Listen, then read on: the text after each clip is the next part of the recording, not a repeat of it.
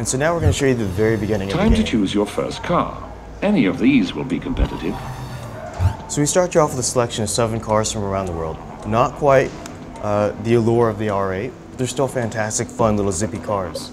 So everything around here, Did that first race with the R8 determine anything like any sort of like settings or? uh, we already or- set we already set the casual. You preset that prior to going in, um, and then it doesn't determine anything. It just gives you a feel of how of you know the exhilarating gameplay. like a like a taste of things to come. Exactly. Just that it's thrilling and, and, and you know that anyone can get into this. That is nothing to be afraid of.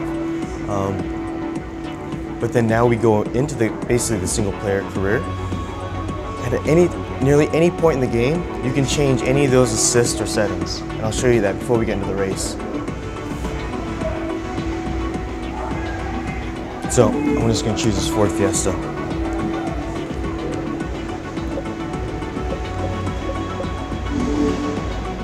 Nice choice.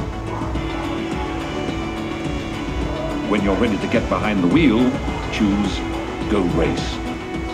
In order to begin your career, choose Season Play. So season play is what, what I really want to show you guys. It's really the accessibility of kind of this career. Um, but because we have two, you know, more hardcore Forza fans, uh, I want to show you first the event list, something you might be more familiar with, uh, and then we'll go into season play. So, as I mentioned before, 90 events in Forza 2, 220 in Forza 3. This is everything. Uh, obviously, it unlocks as you level up, and you can see, you know, maybe for the novice gamer, it's a lot to choose from. Uh, real quickly, the gray box means that uh, that it's an open race to me, but I don't have a car that's eligible. Green denotes that um, I can drive it right now in this car, and if I had more cars in the garage, you would see a blue box that tells me uh, I can just I can get in I can I can race that race. I just need to quickly change my car. Um, I'm gonna cheat real fast and just open this up.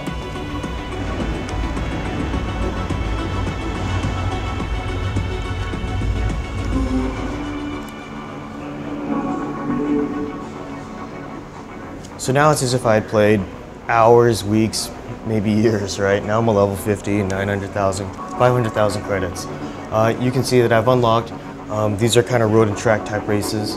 Uh, these are kind of owners clubs. We even have point to point, drag racing. It's all there. Now my Ford Fiesta can, can technically is, is eligible for some of these ladder races, but I might get beat, right? So, so what, what, is, what does a hardcore or what does a racing fan do? I'm gonna go to the upgrade shop, yeah? So in Forza 3, we have 50% more upgrades than in Forza 2. 50% more. Uh, you can imagine the possibilities, the different setups you can do.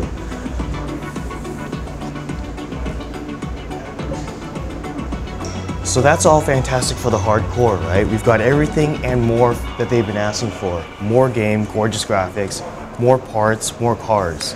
Um, but what about the approachability for the casual or you know the casual guy who's playing something else? That's where season play comes into play. In Season Play, you choose from among several events.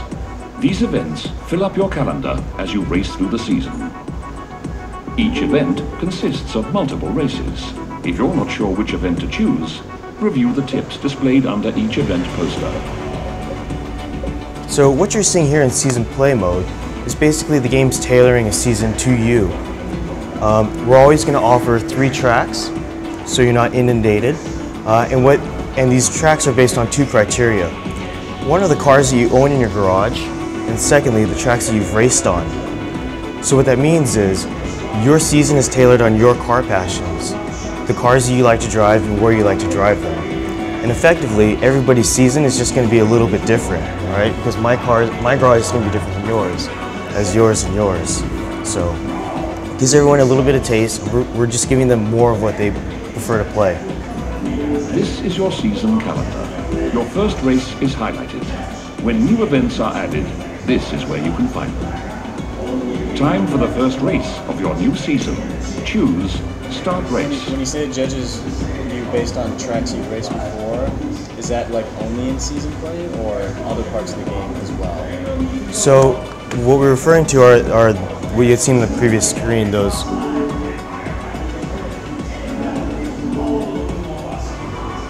Anyways, it's the three the three tracks, the three tracks for me to play next. Um, that's based on the cars I own and the tracks that I've played. So it's going to prioritize those that those the things that I, the races that I'm eligible for and that I prefer to play. Um, that's that's what it's reading off of. Does that make sense?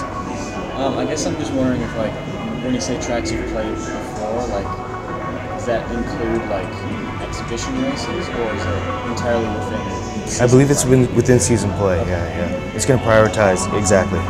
Um, and what it's doing is basically, you know, it's taking that entire grid and it's just consolidating it into a, in a smooth line so that you just every time I'm offered something that I like. It's cool.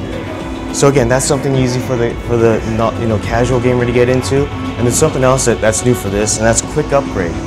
So so while we may want to go upgrade the cars ourselves, there's this opportunity as well. Upgrades affect your car's performance. Press the X button to see the list of parts you will be installing.